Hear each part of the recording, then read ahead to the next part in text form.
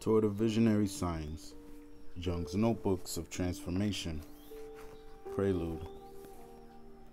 In 1935, Jung said, A point exists at about the 35th year when things begin to change. It is the first moment of the shadow life of life, the shadow side of life, of the going down to death. It is clear that Dante found this point, and those who have read Zarathustra will know that Nietzsche also discovered it. When this turning point comes, people meet in several ways. Some turn away from it, others plunge into it, and something important happens to yet others from the outside. If we do not see a thing, fate does it to us. By 1913, he had established himself as one of the leading lights in European psychiatry and was president of the burgeoning International Psychoanalytic Association. As he recounted in Liber Novus, I had achieved everything that I had wished for myself. I had achieved honor, power, wealth, knowledge, and every human happiness. Then my desire for the increase of these trappings ceased. The desire ebbed from me, and horror came over me. He had reached the turning point that was to transform his life and work.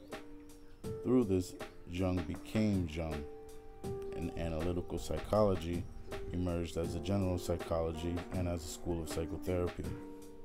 This transformation took place through the exploration of the visionary imagination, charted in the Black Books from 1913 to 1932. These are not personal diaries, but the records of a unique self experimentation that Jung called his confrontation with his soul and his confrontation with the unconscious. He didn't record day to day happenings or outer events in them, but rather his active imaginations, depictions of his mental states, and reflections on these.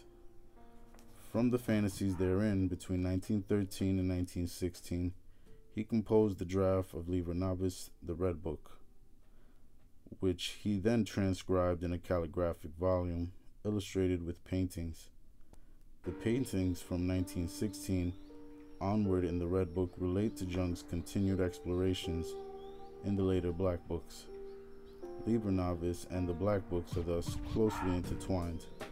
The Black Books covered the period before, during, and after Liber Novus. Liber Novus was born from the Black Books. It includes Jung's meditation on his fantasies between 1913 and 1916 and his understanding of the significance of his experiences up to that point. In Jung's view, his undertakings pertained not just to himself but to others as well. He had come to view his fantasies as stemming from a general mythopoeic layer of the psyche, which he named the collective unconscious from the notebooks of his self experimentation, a psychological work in a literary and theagogic, theogonic, theogonic form was created. Jung's continued explorations of the visionary imagination in the Black Books from 1916 chart his evolving understanding and demonstrate how he sought to develop and extend the insights he had gained and embody them in life same time, they enable his paintings from 1916 onward to be understood in the context of the evolution of the iconography of his personal cosmology. Given the intersection of the Black Books and Liber Novus, particularly between 1913 and 1916, this introduction of necessity reprises in a reworked and expanded form sections from the introduction Liber Novus now taken up from a different angle, as both works arise from one context and share chronology and shared chronology. This introduction at hand focuses more on the unfolding of Jung's visionary self experimentation and provides a fuller contextualization of the later period, 1916 to 1932. Similarly, a share of the notes from the night from the 2009 Norton edition of Liber Novus have been carried over in the first part of this edition.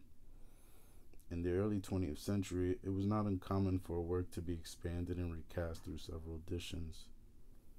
A number of Jung's pivotal publications, such as the psychology, the psychology of the unconscious processes, are prime examples of this. This introduction is part of that genre.